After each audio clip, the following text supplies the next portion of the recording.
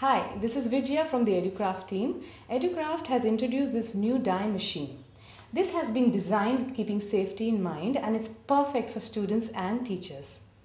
It is lightweight, portable, child-friendly, sturdy and has no pinch points. There are hundreds of dies that you can use with this die machine.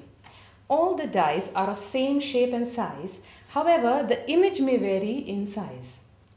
There are many many dies which can be used for reading, math, shapes, etc. Now, you can arrange them in this kind of die rack which makes everything clean, neat and organized. Let me choose a die I want to use. Butterfly. What I like about these dies is that you can see the name and the picture of the butterfly right here.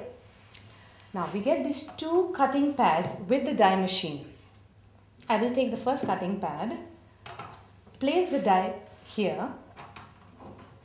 Now remember you can use up to four construction papers along with this die machine. I will place it neatly onto the die. I will take the next cutting pad. I will slide it into the machine and just simply roll. It will come out from the other side as you can see. Now what I have is simply beautiful. There are four beautifully cut butterflies of different colors and equally beautiful negatives which can be used as stencils. We can make a lot of creations with such things. We can have a lot of colored wall hanging using different colored paper. Now since there are so many dies, we can have a number of creations like the bright sports car, crunchy apple, and the kids are going to love this a dingle dangle hanging skeleton.